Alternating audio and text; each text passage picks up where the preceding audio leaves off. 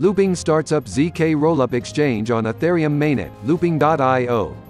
It is non-custodial, inheriting Ethereum-level security guarantees while capable to perform at a throughput 1000x greater and 600x cheaper settlement cost than the current state-of-the-art Layer 1 dexes.